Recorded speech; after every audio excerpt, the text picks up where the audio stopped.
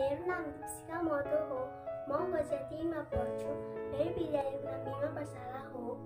म आज नामको बारेमा भन्न गएको छु नाम केलाई भनिन्छ कुनै व्यक्ति वस्तु ठाउँ र भाव बुझाउने शब्दलाई नाम भनिन्छ नाम पाँच प्रकारका हुन्छ जस्तै व्यक्तिवाचक नाम जातिवाचक नाम समूहवाचक नाम त्रिप्रियवाचक नाम भाववाचक नाम